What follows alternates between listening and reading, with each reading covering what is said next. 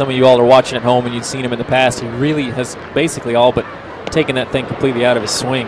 That's a fantastic pitch, and you can tell by the fact that that was an incredibly defensive swing from Joey. It was a 74 mile an hour curveball that gets him. And Devenski has struck out five.